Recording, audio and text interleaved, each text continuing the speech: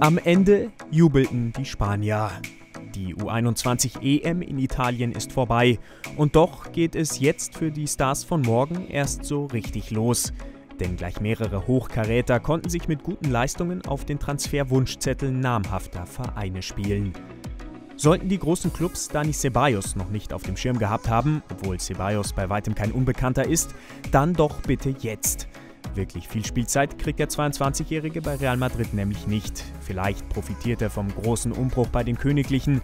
Sollte das nicht der Fall sein, haben ihn die beiden Mailänder Teams Inter und AC schon auf dem Wunschzettel. Auf ganze 311 La Liga-Minuten für Real kam Spaniens U21-Kapitän Jesus Vallejo.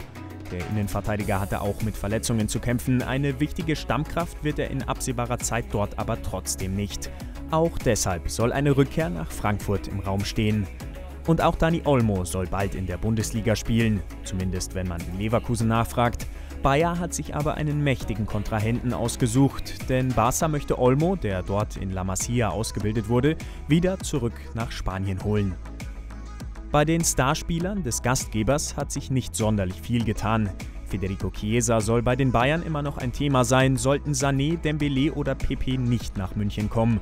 Und wie üblich in Italien soll sich auch Juve mal bei dem Flügelmann mit dem 60 Millionen Euro Marktwert erkundigt haben.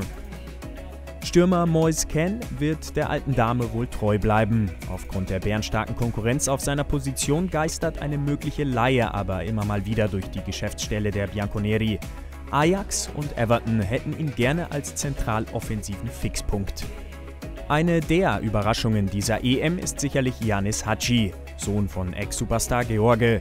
Gleich mehrere Topclubs möchten ihn nach seinen starken Auftritten schnellstmöglich verpflichten. Borussia Dortmund hat aktuell wohl die besten Karten, aber auch Barca und Ajax haben mal angeklopft.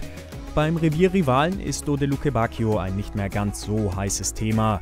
Die Schalker scheinen sich nämlich mit seinem Ex-Fortuna-Teamkollegen Benito Raman einig.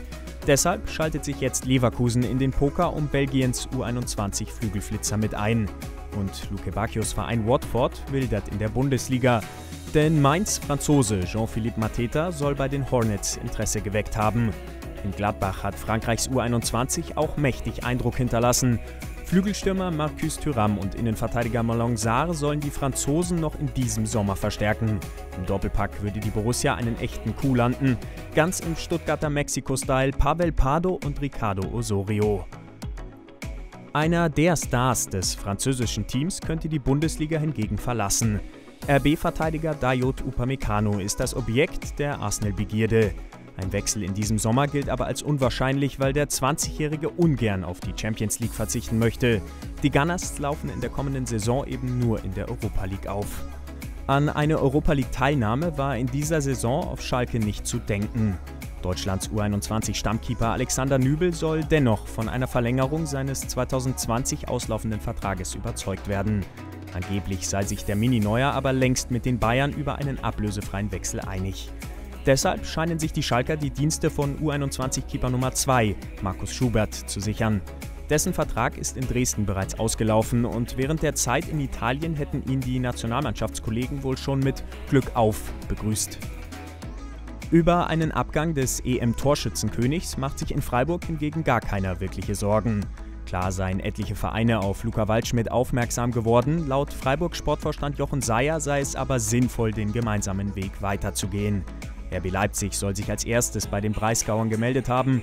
Unter 10 Millionen Euro geht in Sachen Waldschmidt aber gar nichts.